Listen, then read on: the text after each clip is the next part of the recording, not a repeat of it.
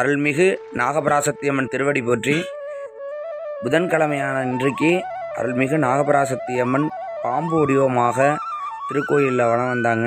வளம் வந்துட்டு அருள்மிகு ஸ்ரீ மகா பிரத்யங்கரா தேவி சன்னிதானத்திற்கு எதிர் திசையிலும் அம்மா மலைமுற்று மாரியம்மனுடைய ஆலயத்திலும் அம்மாவுடைய பாகத்தில் வந்து காட்சியளித்தாங்க.